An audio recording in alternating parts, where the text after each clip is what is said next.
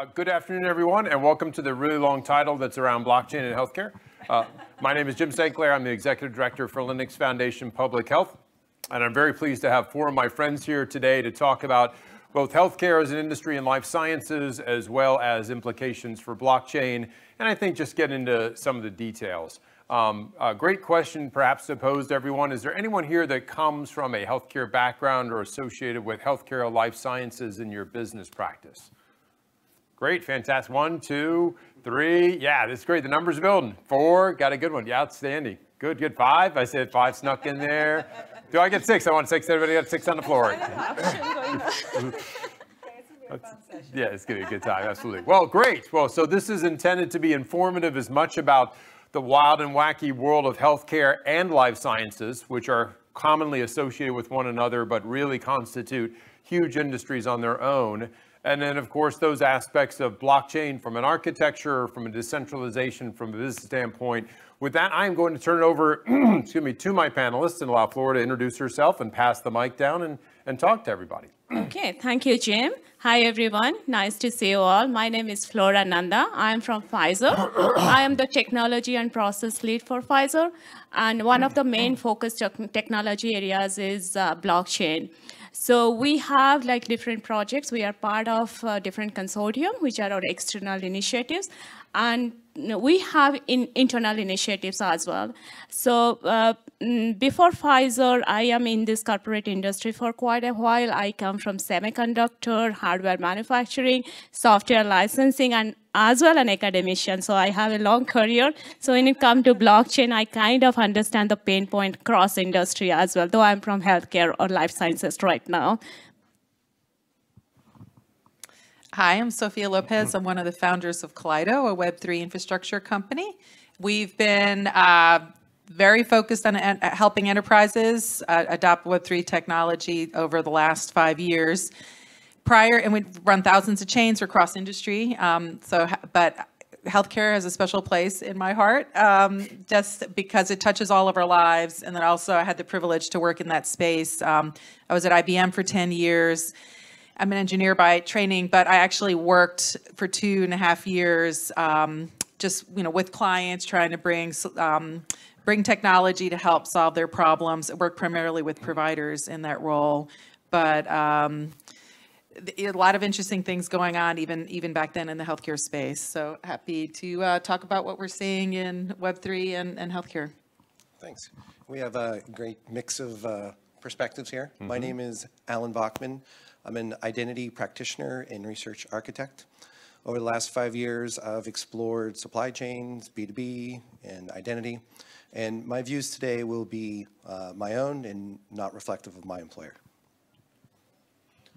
Hello, uh, my name is Charles Okochu. I work for a small bookstore uh, called uh, AWS, Amazon. And I've been with Amazon now for about uh, three years. I run uh, global business development for our Amazon Managed Blockchain Service and also Quantum Ledger Database. So we, you know, we're seeing a lot of innovation in the space, especially in healthcare, um, in digital transformations taking place across the industry. Uh, and a lot of them are looking to adopt uh, blockchain services. And, you know, so I'll be happy to talk to you guys about some use cases that we're seeing uh, being adopted. Great. Well, and Charles, since you, you, you're the last one there with the mic, I'll, I'll kick off with you for questions. Sure. As we mentioned, before we even get into the blockchain aspects of it, just provide briefly to the audience your perspective on some of the challenges that you see healthcare industry, life sciences is wise, and then of course share with everyone else. Sure.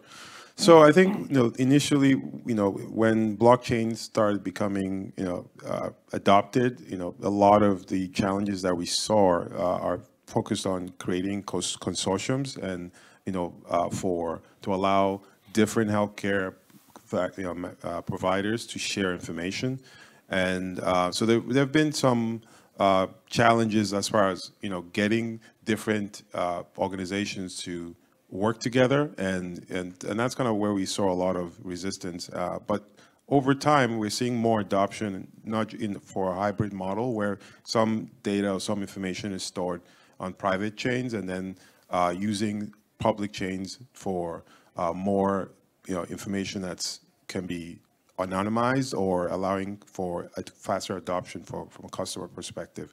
So, and decentralized identity is one area where that's we're seeing a lot of interest to allow, you know, patients to store their data and also have control over the data and you know and share the data and give access to their patient data across uh, public chain. So that's we're seeing a lot of increased usage and increased adoption in that space.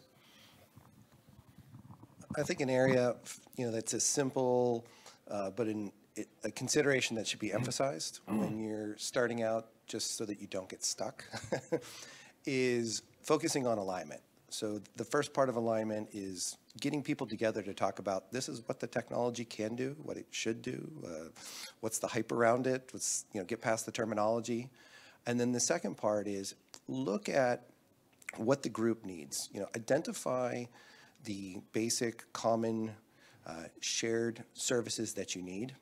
Focus on creating those basic, shared, common uh, services that you need, and then promoting apps that are built in those consortiums to use those, you know, shared common services. And uh, hopefully that sticks with everyone. Because as you elevate your app or, you know, go forward, you want people to have trust. So anything that's built in a DevSecOp or repeatable manner that's been scanned and has had transparency, you know, will accelerate uh, software development and confidence. Uh, I was thinking, uh, one thing I wanted to start with is just looking, at least from the shoes of the, um, the folks in the trenches.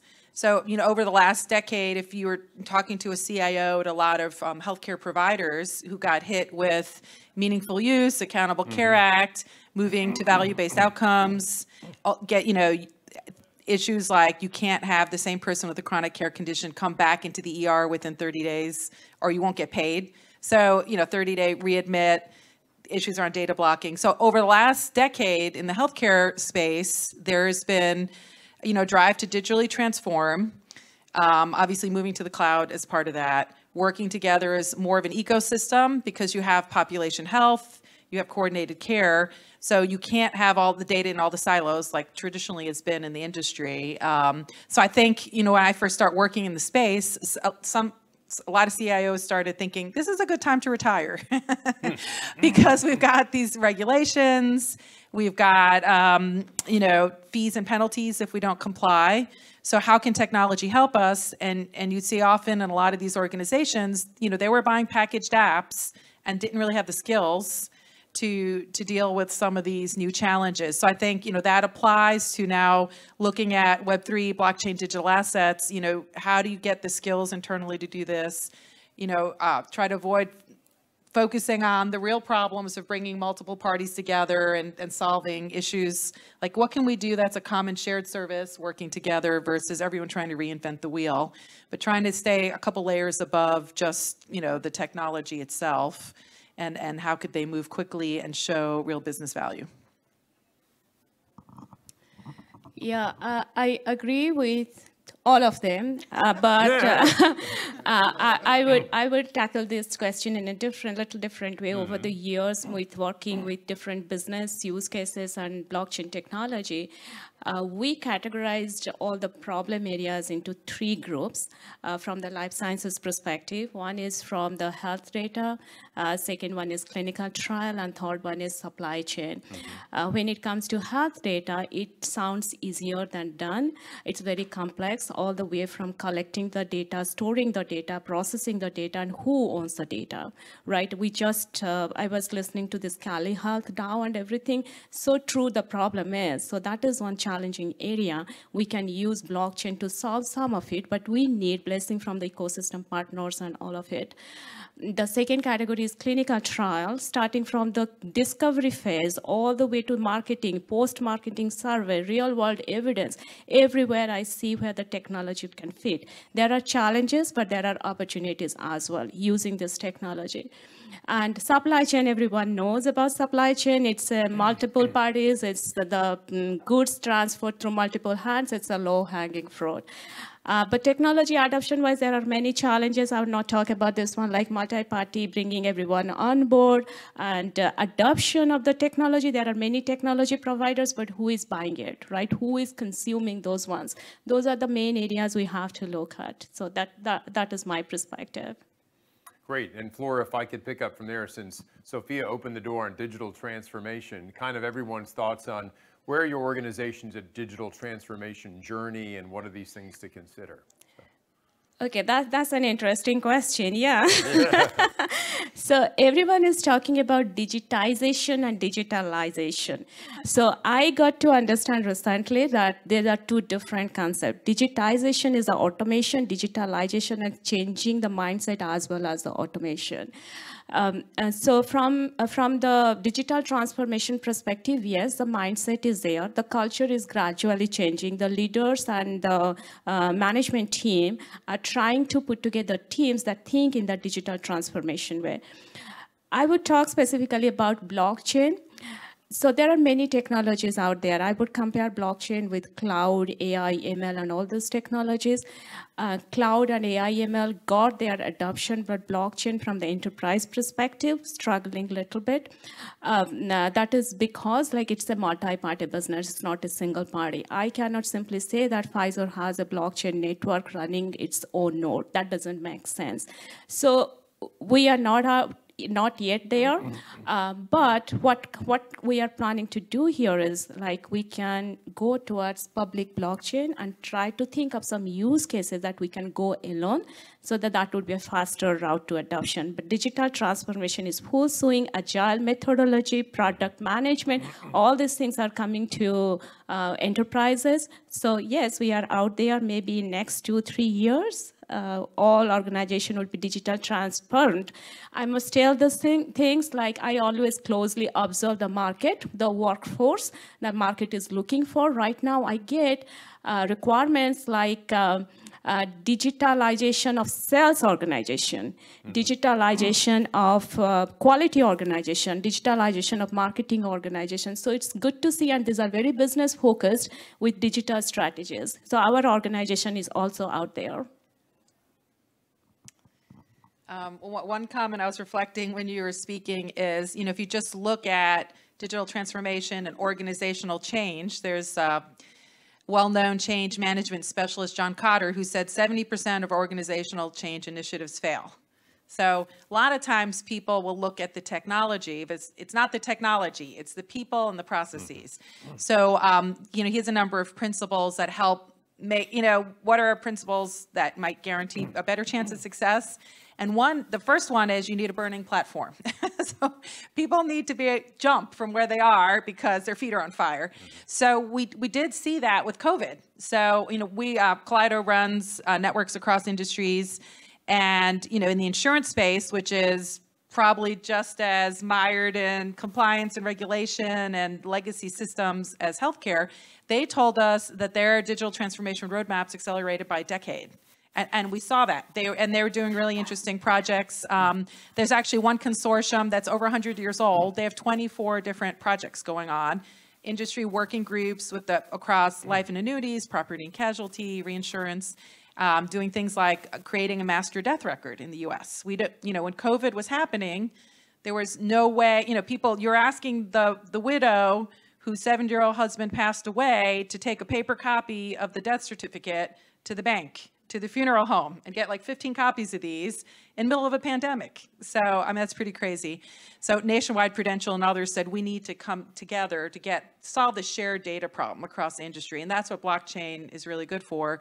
You know, digital assets now layer on incentives with tokens. So, there's a healthcare network that many of you are familiar with um, called mm-hmm. Synaptic that we work mm-hmm. with, and they use mm-hmm. tokenized incentives really as a data monetization uh, play that if you contribute mm-hmm. data or you update data, you get paid. You avoid the tragedy of the commons. Other people who are not participating, not contributing, they'll have to pay to subscribe to that data. And in other cases, we see instead of the fungible tokens, the non-fungible. So documents like powers of attorney, you know, as you're digitizing, I didn't actually know the difference between those two. So I, I love when I learn something new. So digitizing these very paper-based manual processes, you know, now you can represent something with global identity with these token standards. Mm-hmm. And, you know, there's a group of 200 insurers we're working with around the surety bonds and they're power of attorney represented with NFTs or things like credentialing in the space as well. So it's a lot of interesting developments, but a lot of it's trying to put the easy button onto technology and letting people focus on some of the organizational, business, legal issues of getting multiple parties in an ecosystem to work together. And I guess in mul- multiple people mentioned, I think enterprise blockchain started thinking about solving the frenemies, as Alan said, in our prep problem competition, you know, this shared problem. But um, we're also seeing a lot of enterprise saying, hey, I'm going to participate in a dozen or more use cases. So I need a Web3 gateway. I might run a node in one network. I might launch my own solution. And it's really more of just a decentralized app that mm. people can access. It might be B2C, could be B2B. So how can I do that at scale? And that's an interesting next evolution we're getting to when people are planning, you know, multiple types of participation across Web3 projects.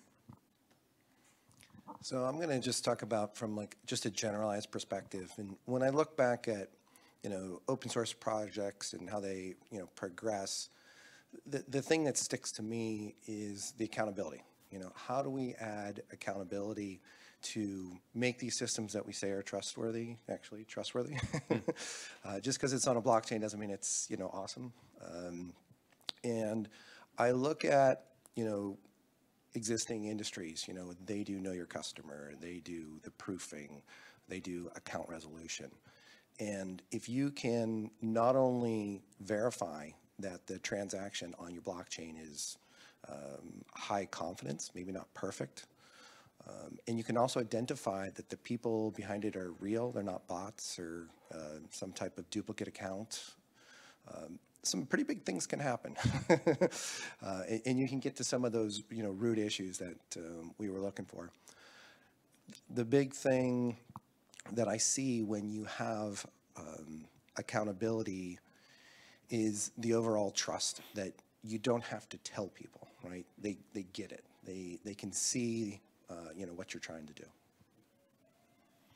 So um, at AWS, we, we work with a lot of customers who are going through their digital transformation. Um, as uh, she mentioned earlier, you know, during COVID, we saw like a you know giant increase in customers wanting to adopt blockchain for you know COVID uh, vaccine tracking, you know, for certifications, and lots about two or three projects. And uh, we also see for you know supply chain, like as uh, you mentioned earlier, uh, we, but not just tracking the uh, those location and but also tracking the cha- you know tracking the condition. For, for instance, COVID vaccines require you know cold storage, so you know we see all we saw a lot of implementations of you know using temperature sensors, IoT devices to track and, and storing all of that information on, on the blockchain. So that, that's actually led to a lot of other conversations that we're having with traditional, you know, healthcare, life sciences companies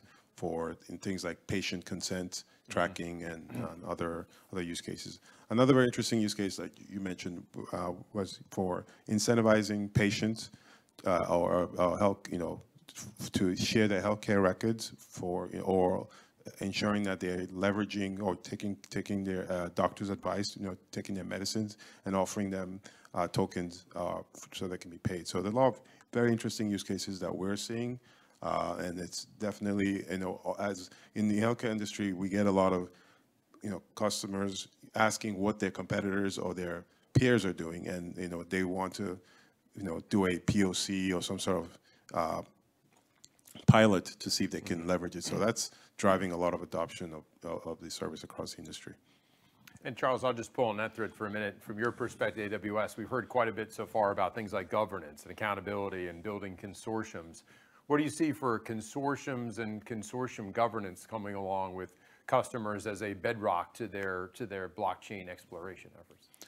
Yeah, I think you know, generally what we've seen is we when we ask customers, especially customers reach out to us and say, "Hey, we're interested in doing a blockchain project." I mean, one of the first things we ask is, "What which which partners are you interested in working with? Or you or what partners are you expecting to join the consortium?"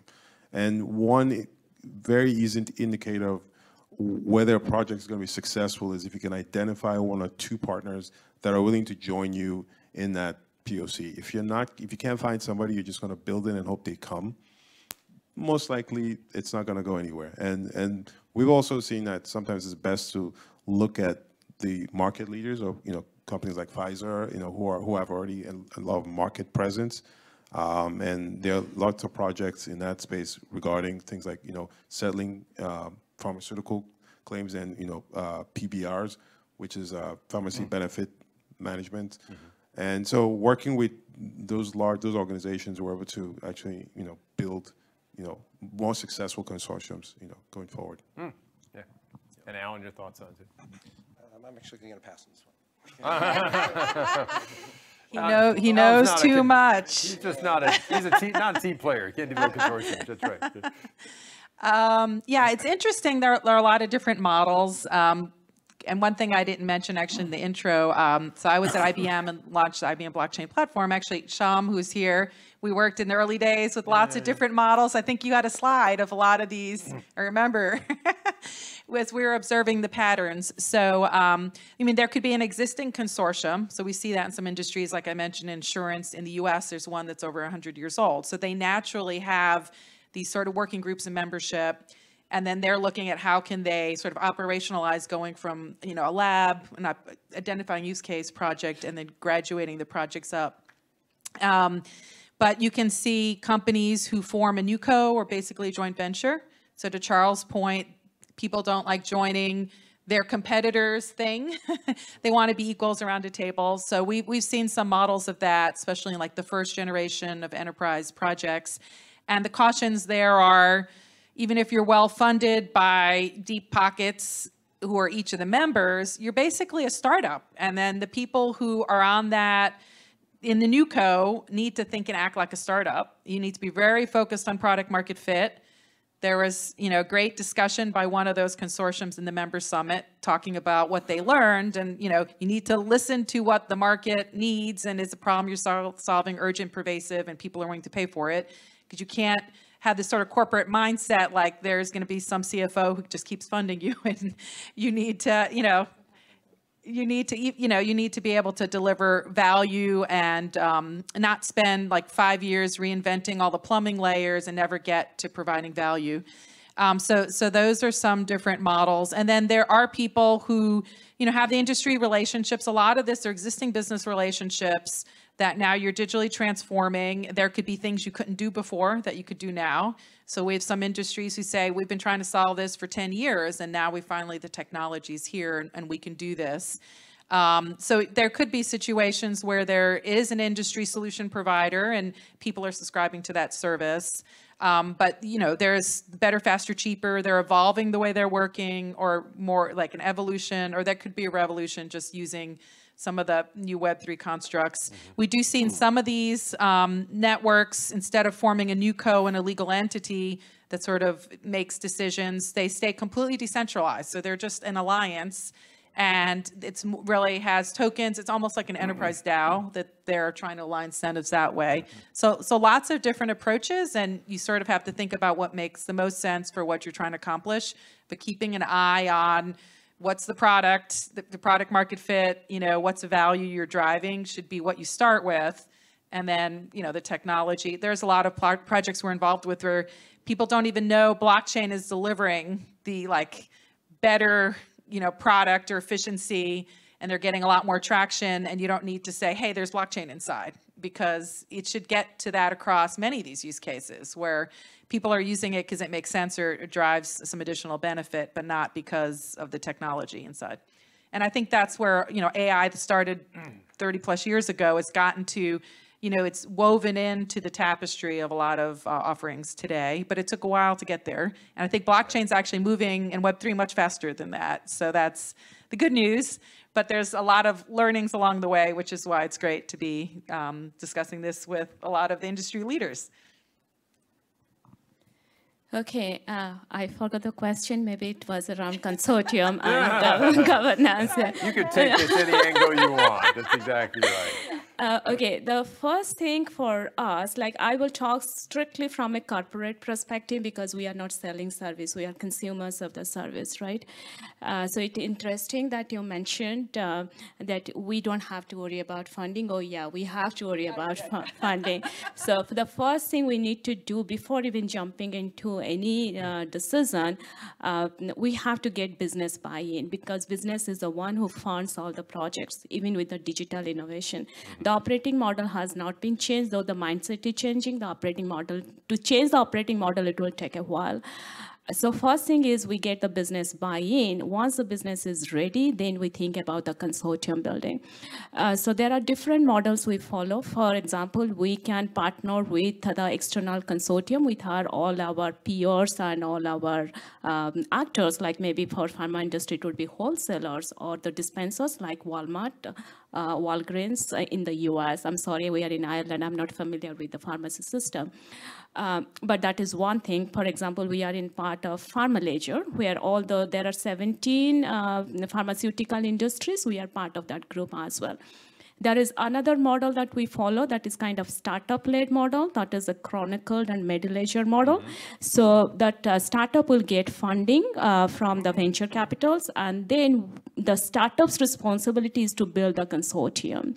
Then the startup invites us to join the consortium, but remember we have to get business buy-in to join that one because we have to finance our participation as well. So that is another model. The third kind of model, which is an interesting model, like we start internally, then we build the POC in a small scale, then the, we invite our peers to join the network in the POC, then pilot, then, then, then, and then, right, then scale it.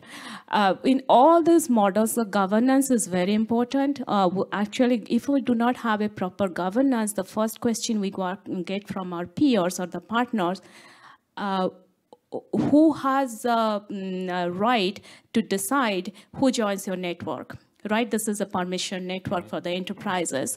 So then who deploys the code? Who decide the code change management like devsecops? So if we work on the governance from the get-go in parallel so by the time we reach the end of the poc and we are ready to jump in the pilot we have the governance model. But it is very crucial for the enterprise models the last model, which is my favorite model, which I always uh, advocate for, forget about all the enterprise blockchains, forget about all the permission blockchains and everything. You said Web3 is ad- advancing. Why can't we deploy our uh, use cases using public blockchain? We are talking about some regulatory aspects of it, but it totally depends on what data actually you are putting on the public blockchain. Why can't we build our own use case using public blockchain? Uh, so I am an advocate for that one, but as I mentioned, we are we have to get business buy-in. We are not yet there, but we are pushing for some public blockchain use cases. Um, interesting enough that there is a decentralized autonomous organization DAOs in clinical research space. They call it decentralized science. I think we were talking about that. Uh, so Pfizer has expressed interest to invest in Vita DAO. It's a public news. That's why I'm at the liberty of um, discussing it with the audience. Uh, so that mindset is there. It's from Pfizer Ventures, which is a very good thing. So that is the first uh, step in the right direction. So that is where we stand from the consortium perspective. Excellent, excellent, good feedback. And I think we have about five minutes left on our schedule, so I want to give the audience a chance. I'm sure there are some questions brewing uh, that I can, I don't know if there's a mic out there. If there's not, I'll be happy to bring it over to you for any questions or anything you want to bring up.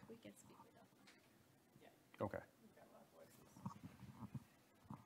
No questions? Oh, there we go. One right there, yeah.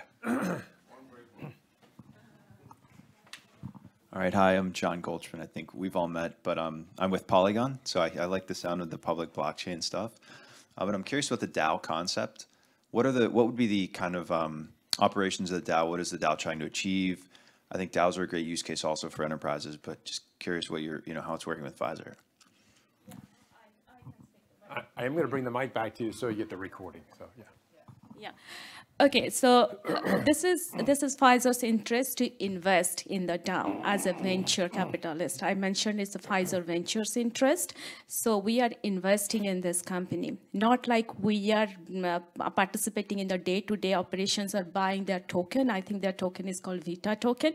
We are not buying their token, so we have a considerable amount we are investing there, but our interest is in clinical resource space, which is the decentralized uh, science concept the concept of this clinical research is like we we will fund the projects that will not get funding otherwise. There are many research initiatives but they die soon because they don't get the funding uh, the intent of this clinical research or the DAOs in clinical research and decentralized science in general is to provide them funding. I think VitaDAO is working on some product in the longevity area, and we are interested in that one. But if you follow the VitaDAO's paper, they white paper, they the use case is very interesting it is not about the token you buy to get the voting rights because DAO is all about voting rights and everything. It's not only the token you buy, but it's the intellectual property as well. There is an NFT angle to it. The intellectual property getting generated with this research would be deployed as an NFT and you can monetize, monetize it in the marketplace, selling it or leasing it. So that is another interesting angle. So we are interested in the whole concept. So we are invest, we expressed interest in investing in this organization. Make sense? Okay. Thanks for the question. Yes, great question. Time for one more. And no more questions. And if we have no, excuse me, if we have no more questions, I'd like you to thank my outstanding panel and appreciate your participation today.